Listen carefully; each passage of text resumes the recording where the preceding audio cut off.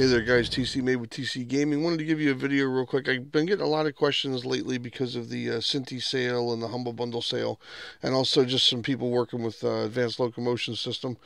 So I'm going to do a combination video here. I'm going to put together the ALS version 4 community download, which is the replicated version, into a third person project and then we're going to add a Synty pack to that, retarget everything onto Synty and get that all working. So it's going to be two parts. The first part of the video for ALS version 4 will be universal for ALS version 4, and the second part for retargeting Synty onto ALS version 4 should be uh, pretty standard also. So I'm going to start with going out to the internet and going to uh, GitHub and looking for ALSv4 and you'll find out here that there is an Advanced Locomotion System community version on GitHub. And uh, this is the one I typically get, which is this uh, Diana Koglu. Or I'm not sure how the, might, might be Dianic Oglu. but anyway, this is the repository that I typically get. So you can see in here that it's the Advanced Locomotion System community version, and it's got quite a few releases, and it's also for Unreal Engine 5.1. Okay. And what I do is I go down here and I say, um, we want to get the code. So we go and download the zip file for this. And I'm just going to let that go into my local directory. And once that downloads, we'll just go to show in folder. And should be in here. I got a billion things in here. So here's my ALS community main. Uh, I might even have a copy of this already on here already. So let me, let me purge this so it's not an interruption. Here's ALS community main that we just downloaded. If we open this up and take a look at what's inside of it, uh, what you have is a folder in here for all your characters, assets, environment, and all that kind of stuff. There's also a demo level map in here. Um, but I don't believe that there's an actual project file in this anywhere. Okay, so what I'm going to do is I'm going to go and extract this. And I just usually say extract to ALS community main. So that file now is going to be over here, ALS community main. And I'm going to drill into it until I get right to here, which is where the main folder is.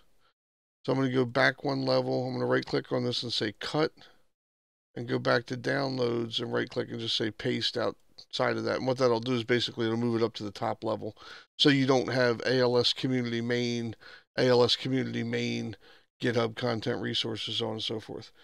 Now this folder will end up being a, um, a uh, plugin folder in any other project that we want to put this in.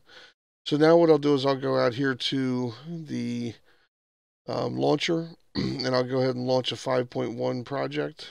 And what we want to do here is because ALS version 4 is a, or the community version, it's a C++ project and it's replicated. We want to create our project here as a C++ project. And I'm going to call this ALSv4 community. And I'll create this as a third person project in C++. Okay. Give that a second.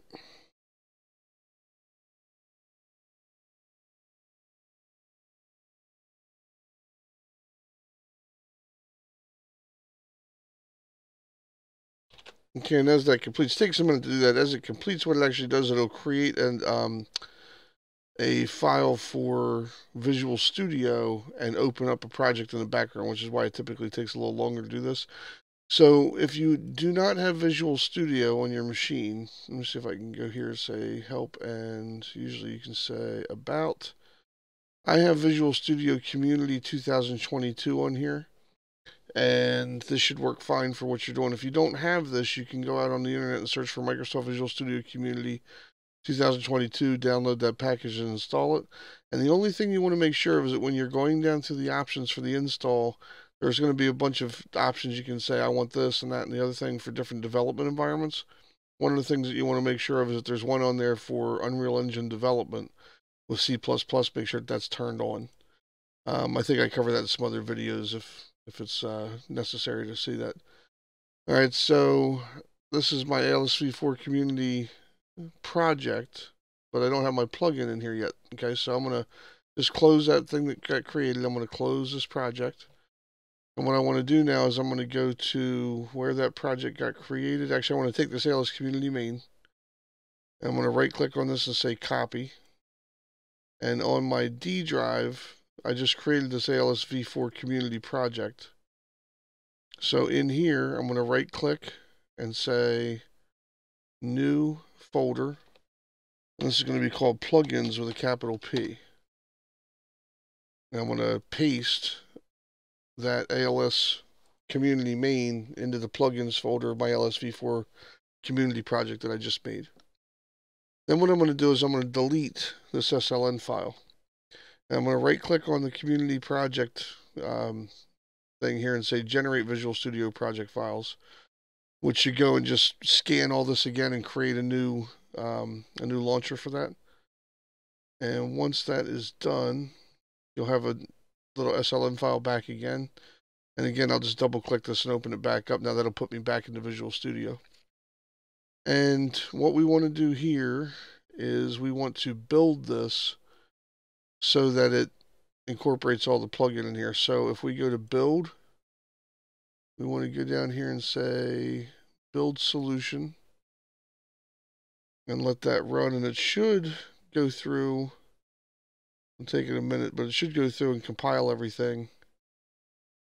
You'll just see it run over here and when it gets done it should say one project uh, successfully compiled. That might say one skipped. The one that skipped is going to be the the one for uh, ALS version 4 so here you have build one succeeded zero failed zero up to date one skipped. Again that's probably the plugin it's already compiled there and so now we can close this again and go and launch this ALSV4 Community View project. Uh, now, inside of here, we have options to turn on for showing engine content. We also want to say show plugin content and show C++ classes. And when we do that, we should see some additional folders over here on the side. The plugins folder this is localized to this project because it's actually embedded inside of the, the, um, the code. Okay, so if you just go down into the plugins folder way down here to levels, there's an ALS demo level. And if you just bring that in and hit play, then you'll see that you do actually have the controller turned on and you have your ALS version 4 character in here and all your other things that normally happen with ALS are, are intact. Okay, so my apologies, I, I just grabbed the wrong game mode in there, and doing it in the level just pulls it right up. So you can go through here and see that all these things work. And they've got a much more robust uh, example of all the different characters and movements and everything in this version. This is always being worked on out there in the community somewhere, so you want to keep your eye on it. you can also, um, you know, if you go up to stuff, you should have your IK, your climbing should be good. Be able to climb up all these different things. when you jump off with this one, I think you go into a roll. Yeah. So go in here and check this out. Again, this is the first part of this video. Actually, you know what? Maybe I'll do these in two different videos. So this one would be just building the ALS version 4 community version. And then what I'll do is I'll take this version and I'll bring Cynthia into it. So we'll call this video one and be done with it. So again, my name is TC Mabe with TC Gaming. I will catch you guys in a video upcoming soon.